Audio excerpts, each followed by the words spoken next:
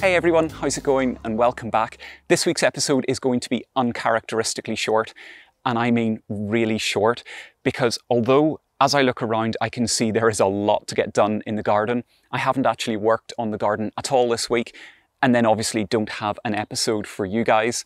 But I have been working on something else that I think you're going to be interested to see if you haven't already had a chance to see it.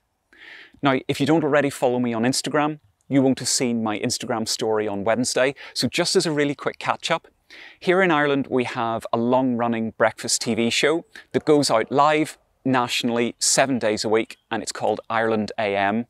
Well, about three weeks ago, I got contacted by one of their producers and asked if I would come onto the show to do a gardening segment.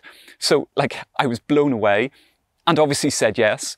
But as you can imagine, quite a bit of prep had to go in to get myself ready for that segment on Wednesday morning, hence why there's no video.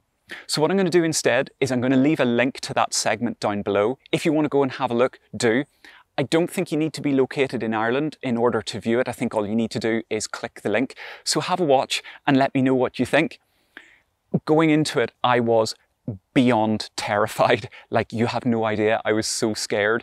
In the end, it was amazing fun. Now, the segment was at the end of the show. It's a three hour show, all filmed live, and things had started to run behind a little bit. So, towards the end, it gets a little bit chaotic, but it's all in good fun. And it was such a great experience. So, like I say, have a look in the video. Let me know what you think, because I'd love to hear your comments. And rest assured, normal service is going to resume next week. I'll be putting out another Niall Gardens episode next Sunday, and you might just start to see me more often than the once on Ireland AM. But until next time, see you later.